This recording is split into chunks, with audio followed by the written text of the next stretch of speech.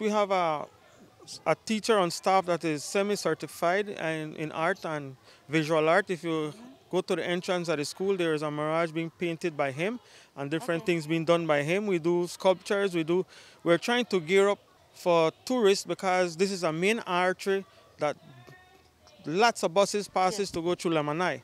So- And I want to tap into that so that these kids can be doing some painting and get a, one of those um, bus stops and display the art And make money. and make money for themselves. Alright. Painting, national animals, animals, um, forest, and um, sculpture of different animals, like jaguars or toucan, those kind of things that when the tourists go back, they could say this is what they got and this is an animal that exists in Belize.